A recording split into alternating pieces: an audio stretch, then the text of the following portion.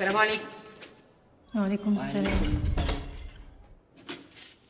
أنتوا أكيد ما مسكتوش معانا في المظاهرة. أنتوا محبوسين ليه؟ أنا سعيدة إنك سألتني السؤال ده. إحنا محبوسين ليه صحيح؟ إحنا محبوسين ليه؟ آه مشكوك فينا مشكوك في أمرنا. هو ما فيش غيره. هو اللي جاب لنا المصيبة دي. قلت لك 100 مرة إحنا ملناش دعوة بيه. يختفي ولا يكون في ستين داهية. مالنا إحنا؟ يا ماما ما إحنا لو ما دورناش على غيرنا ما حدش هيدور علينا. آه. وإحنا بقى مين بيعترض علشاننا دلوقتي يا حلوة؟ ها مفيش ودينا مرميين هنا. مش عارفين الدنيا بره فيها إيه. دي كانت فرصتنا.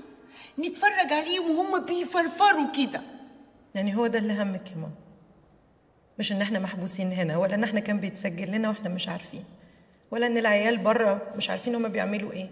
كل اللي همك إن أنت ما عندكيش فرصة تشمتي فيهم. طبعا.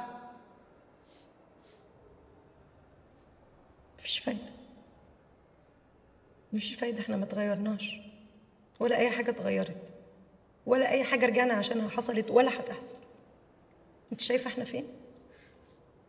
أنت عارفة إحنا مشكوك فينا ليه؟ عشان بنساعد. عشان بنحاول ما نبقاش سلبيين عشان بنحاول نعمل حاجة. حبسونا عشان بنقول على الغلط غلط. يعني إحنا كده ما بنحبش البلد؟ امال نحبها إزاي؟ لما نسكت خالص؟ هو ده اللي الناس ماتت عشانه؟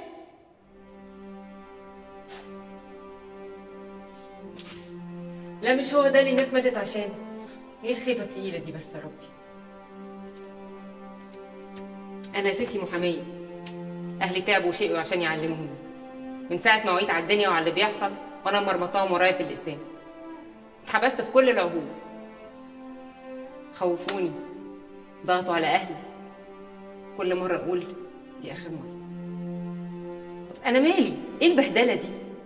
أطلع أعترض أعترض تاني وهفضل أعترض لغاية لما يجي ناس تفهم إن اللي إحنا بنعمله ده حق وحب حقيقي وواجب. نتعلم. كل يوم بنتعلم. انت واخدة بالك انت بتقولي الكلام ده وانت فين؟ هطلع مش أول مرة ومش هتبقى آخر مرة. أنا هنا عشان كلنا نتغير. وهنتغير. وبكرة تشوفي.